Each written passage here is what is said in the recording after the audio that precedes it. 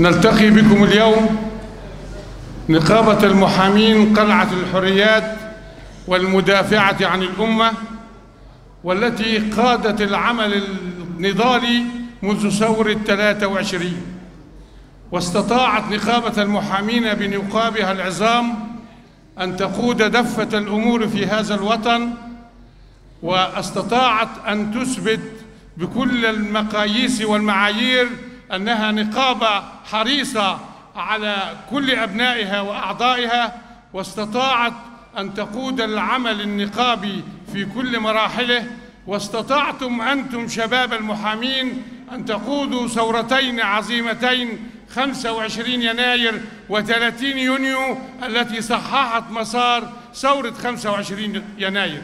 أيها الأخوة الأعزاء حقيقة أتمنى أن أتحدث إليكم طويلا ولكن نظرا لضيق الوقت وزملائي يرغبون في الحديث معكم فإنني سعيد بهذا اليوم وأنه أول يوم لكم بعد حلف اليمين اليوم تنضمون إلى كتيبة نقابة المحامين وستؤدون اليمين القانونية بعد حضور النقيب سامع عاشور بمشيئة الله قريبا وأنتم سوف تكونوا قلعة هذه الأمة وتاريخها ونقابة المحامين تتمنى لكم كل التوفيق والتقدير وعليكم في الجانب المهني أن تتدربوا عند محامي في خلال السنتين القادمتين مشهود له بالكفاءة والأمانة لأن هاتين العامين القادمين هم الذين سيبنيان البنيان القانوني لحضراتكم جميعا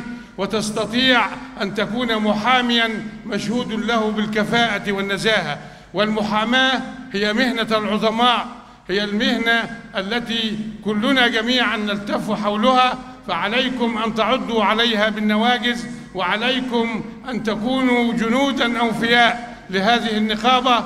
والنقابة الآن قد تقول لكم إنكم جميعا أبنائها الأعزاء ونحن لدينا لجان كثيرة سوف تتعرفون عليها في نقابة المحامين وهي تؤدي خدماتها لحضراتكم دون مقابل. ونقابة المحامين نقابة عريقة كما قلنا والمحاماة رسالة وليست مهنة. يقول رب العزة في كتابه الكريم قل رب اشرح لي صدري ويسر لي أمري واحلل عقدة من لساني يفقه قولي واجعل لي وزيرا من أهلي هارون أخي أشدد به أزري واشركه في أمري. تلك كانت دعوة نبي الله موسى إلى رب العزة أن يشرك أخاه هارون لأنه كان أفصح منه لسانا في هذه الرسالة بمثابة المحامي.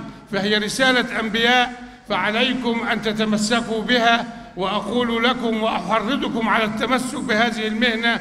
لأن العظماء مصر الذين قادوا العمل النضالي النضالي مصطفى كامل وسعد زغلول وأحمد عرابي نقابة المحامين التي حلف جاء إليها الزعيم الراحل جمال عبد الناصر وارتدى ثوب المحاماة في قلعة حرياتها. نقابة المحامين ستظل هي درع الأمة وأنا أعتز بكم جميعا. وعليكم أن تتمسكوا بالمهنة. عشتم للمحاماة وعشتم للوطن. والسلام عليكم ورحمة الله وبركاته.